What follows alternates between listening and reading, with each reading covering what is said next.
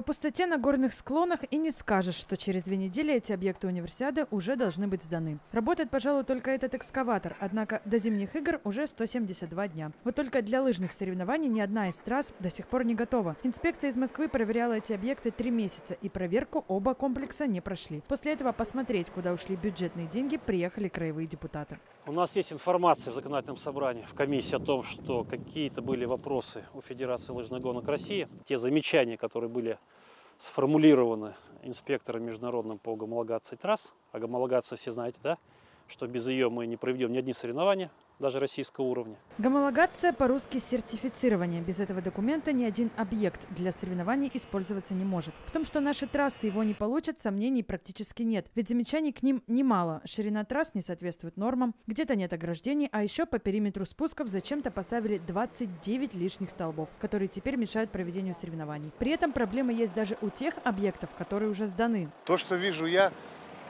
все очень ужасно. Вы видите газоны, а, насколько мне известно, работы сданы по благоустройству. Брусчатка вся провалилась. Газонов нет. Когда их будут сеять? Деньги выделялись огромные, сметы не были урезаны. А по факту ну, мы не видим того качества, строительства, которое могло бы быть на такое финансирование. Потратили на строительство объектов универсиады более 20 миллиардов рублей, а такое ощущение, что пару миллионов. Вот, например, комплекс «Снежный». Еще не сдан, а здесь уже протекает крыша и отходят плинтуса. Торопятся здесь только с укладкой асфальта. Делают это прямо в дождь. Но, как говорится, что для одних плохо, для других хорошо. В Министерстве строительства края, например, никаких сомнений по поводу готовности объектов не возникает.